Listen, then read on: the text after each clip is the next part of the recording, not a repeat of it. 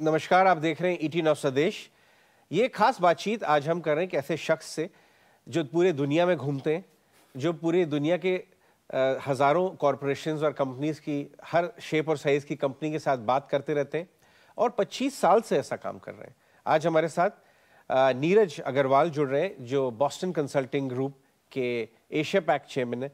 नीरज बहुत बहुत शुक्रिया आज हमसे बात करने के लिए। अजय, बहुत यहाँ के। और आप आ, सबसे अच्छा हमें आपसे बात करके ये लग रहा है कि आप परफेक्ट ईटीन स्वदेश पर्सनैलिटी हैं। आप खालिश देसी हैं। आपने पढ़ाई लिखाई करके आज आप बी से के पोजीशन पे बैठे हुए एशिया पैसिफिक चेयर के पोजीशन में।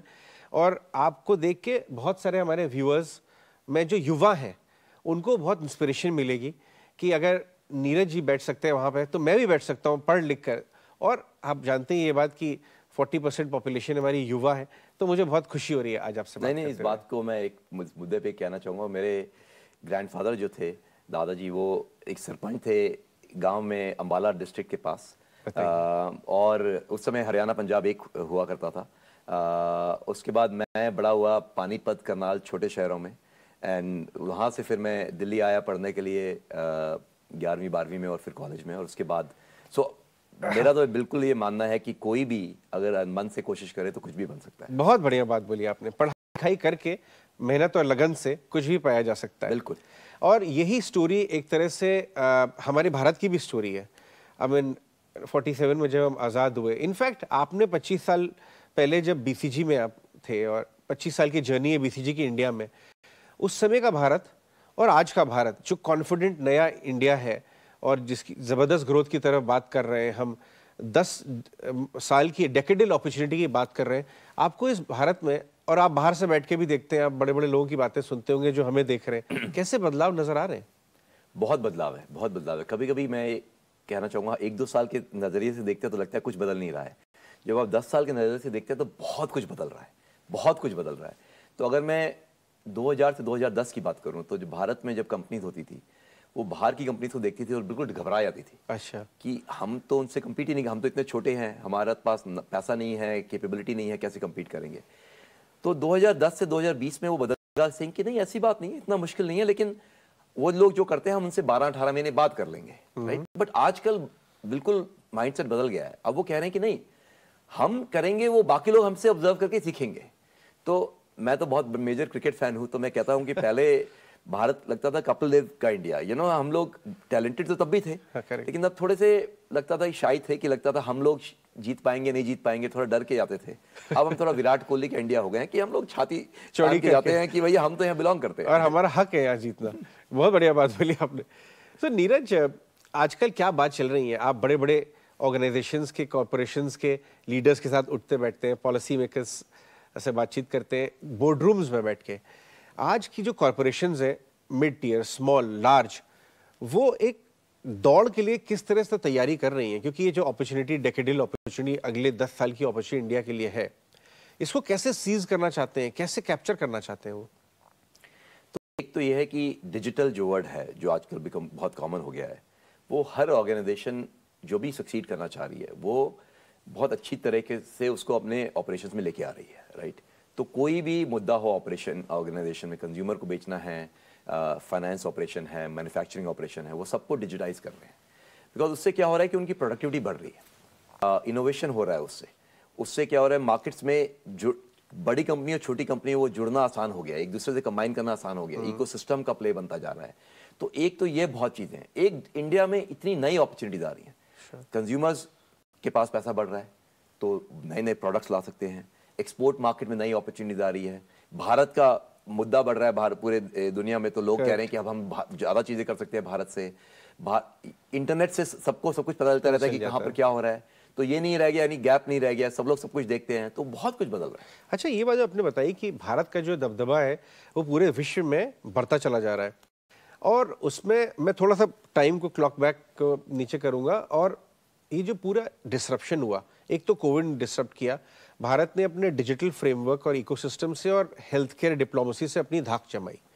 लेकिन जो एनर्जी क्राइसिस हुई, यूक्रेन ट्रिगर्ड, उसमें भी हमने अपने इंटरेस्ट को गार्ड करते हुए जस्टिफाई किया दुनिया को कि हमारे लिए जो बेहतर है वो हमें करना पड़ेगा। और जयशंकर जी ने तो बहुत ही शानदार काम किया। ये आपने कैसे दो दो, तीन बातें कैसे डिसरप्टिव वर्ल्ड में ऑब्ज़र्व की भारत की? नहीं आई थिंक आपने जो लास्ट बात कही जयशंकर जी की और जो भारत कह रहा है, वो बहुत ज़रूरी है। नए भारत को नए सिरे से बात करना है कि हमारा रिलेशनशिप दुनिया के साथ कैसा होगा। बिकॉज़ हम कोई छोटा मुल्क नहीं है हम तो बड़ा देश हैं और जिसको और बहुत तरक्की करना है तो सारी दुनिया तो अगर हम लोग डर के रहेंगे हम लोग अपना हिचकिचाएँगे। तो वो नहीं हो पाएगा। हम लोग को कहना है कि ये हमारी टर्म्स हैं इस टर्म्स पे हम लोग एंगेज करेंगे। तो आई थिंक वो जयशंकर जी बहुत बढ़िया कर रहे हैं।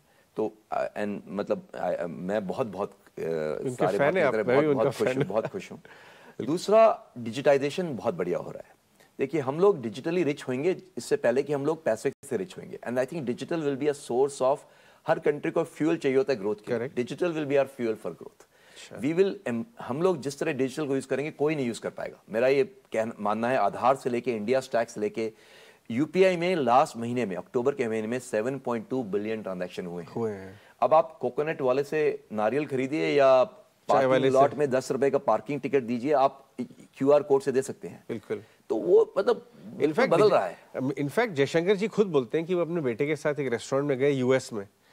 तो रेस्टोरेंट के एंट्रेंस पे उन्होंने अपना फ़ोन निकाया और उन्होंने अपना सर्टिफिकेट दिखा दिया वैक्सीन से हाँ, लेकिन उनके बेटे ने अपने वॉलेट से इतना लंबा चौड़ा पेपर निकाला था। आप समझिए कितना हम लोगों ने नहीं सही काम किया लॉकर हमारा लॉकर बिल्कुल एब्सोल्युटली आई मीन हम लोग को मतलब लाइसेंस वैक्सीनेशन सब कुछ डिजिटल आना अलाउड है दैट्स शानदार। ये बताइए, नीरज जी, कि अभी काफ़ी बात चल रही है कि जो अपॉर्चुनिटी हमारे लिए खुल रही है, हम छः सात डिपेंडिंग ऑन किसकी बात कर रहे हैं, उतना परसेंट ग्रो करेंगे, जब विश्व में डी ग्रोथ की बात हो रही है। तो ये जो ग्रोथ आएगी कहाँ से? ये मैन्युफैक्चरिंग से आएगी? सर्विसेज़ में ऑलरेडी हमने काफ़ी काम किया है। क्या इंक्रीमेंटल ग्रोथ मैन्युफैक्चरिंग से आने वाली है? इसके बारे में बड़ी बातें हो रही हैं। देखिए एक तो एग्रीकल्चर बहुत हमारे लिए एनी वे इंपॉर्टेंट है। तो बेस ग्रोथ एग्रीकल्चर से भी आएगी। एग्रीकल्चर प्रोडक्टिविटी हमारी बहुत तरीके से इंप्रूव होगी। वहाँ तो, भी ऑटोमेशन होगा। हाँ वहाँ पे ऑटोमेशन होगा। प्रिसीजन एग्रीकल्चर है। ड्रोन्स इंडिया ड्रोन्स में बहुत इन्वेस्ट कर रहा है। तो ड्रोन से कितना पानी कितना रॉ मटेरियल कहाँ डालना है बहुत अभी तो शुरुआत हुई है इसमें। बहुत बहुत होने वाला है इसमें। तो एग्रीकल्चर एक इंपॉर्टेंट मुद्दा है। उसके बाद आते हैं हम पहले सर्विसेज़ बात कर लेते हैं फिर मैन्युफैक्चरिंग बात करते हैं। सर्विसेज़ में हमारी स्ट्रेंथ जो है वो बढ़ती जा रही है। ओके कोविड ने इंडिया को ऑफ़िस ऑफ़ द वर्ल्ड बना दिया है। मतलब जो पहले आईटी सर्विसेज़ इंडस्ट्री में होता था वो इतने सारे सेक्टर में हो रहा है बिकॉज़ अब वो प्लेइंग फ़ील्ड बिल्कुल लेवल हो गई है। हर सेक्टर के सिर्फ़ आईटी में नहीं हर सेक्टर में। अब जूम कॉल कीजिए जो मर्ज़ी करिए आप कहीं से भी कुछ कर सकते हैं। बिल्कुल। तो वो इंडिया को बहुत सूट करता है। I, मैं देख रहा हूँ हर जगह में देखता हूँ ये कि बिकॉज़ लोग एनी anyway एक जगह नहीं है। पहले तो समझाना पड़ता था कि हम आपके साथ क्यों नहीं अब तो वो बाय डेफिनेशन वो तो बेसिक प्रोसेस हो गया एंड मैन्युफैक्चरिंग में काफ़ी बदलाव आ रहा है। जो पीएलआई स्कीम है गवर्नमेंट की उससे काफ़ी सेक्टर्स में काफ़ी एक्साइटमेंट है। अच्छा। यू नो नए जनरेशन के ऑटोमोबाइल देखिए जैसे ईवी e देखिए बड़े बड़े हाईटेक मैन्युफैक्चरिंग देखिए आप सेमीकंडक्टर देखिए ग्रीन हाइड्रोजन सो जो ऑन्टरप्रनर्स हैं इंडिया के वो top end of the manufacturing में काफ़ी इंटरेस्ट दिखा रहे हैं। और जो टेक्नोलॉजी की एज है भारत की वो मैन्युफैक्चरिंग में उसको हेल्प करेगी। अच्छा ये जो बड़ा काम होने वाला है ये फंडेड कहाँ से होगा? एफडीआई और इवन पहले क्या था कि हम एफडीआई का भी बहुत सिक्लिकल था। इधर हमने दो तीन सालों से देखा है काफ़ी सस्टेन्ड फ्लो आ रहा है कैपिटल का। कंपनी स्ट्रेटेजिक कैपिटल भी ला रही हैं और फंड्स ये प्राइवेट इक्विटी और वीसी कम्युनिटी भी ला रही है। और हमारी खुद की डिपेंडेंस एफ़ पे कम होती जा रही है। डोमेस्टिक पैसा ये बहुत रेज हो रहा है। कैपिटल फ्लो पे भारत में जो आ रहा है, उसके बारे में कुछ आप राय दें? सो so, पहले तो दुनिया में कैपिटल बहुत है। Okay. कैपिटल की कमी नहीं है।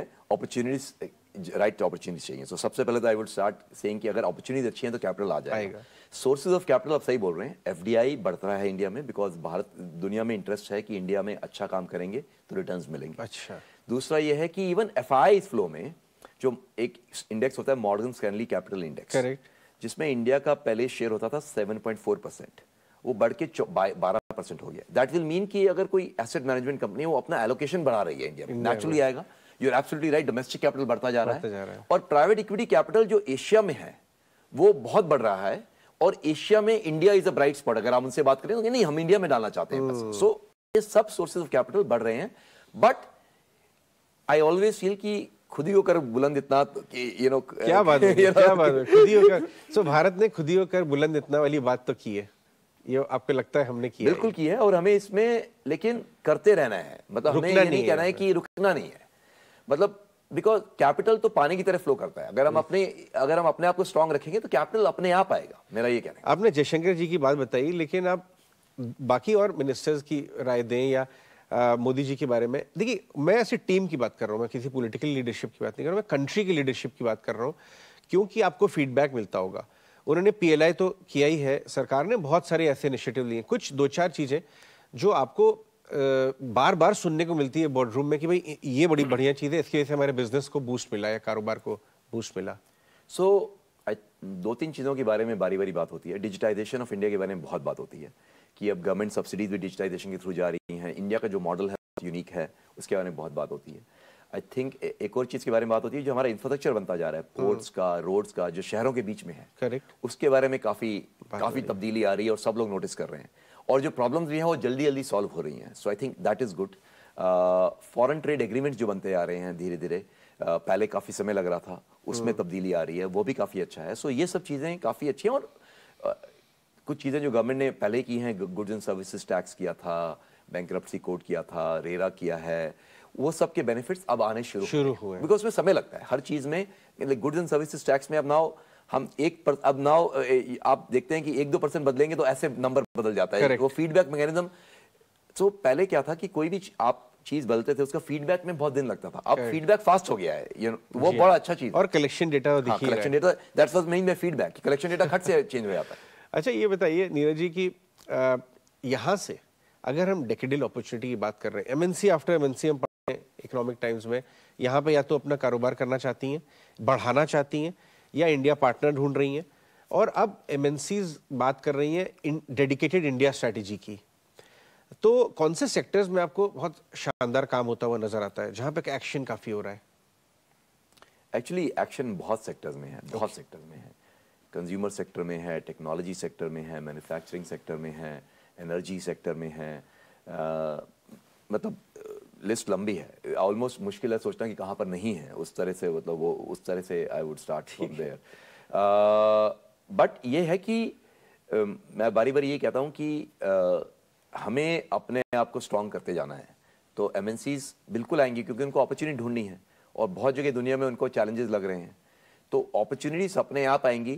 बहुतों के पास चाइना प्लस वन स्ट्रेटजी है या वो चाइना प्लस वन में लेकिन इंडिया जा सकते हैं लेकिन बांग्लादेश भी आ सकते हैं वियतनाम भी आ सकते हैं फिलीपींस भी आ सकते हैं इंडोनेशिया भी आ सकते हैं। तो इंडिया एक एट साइज़ मार्केट है।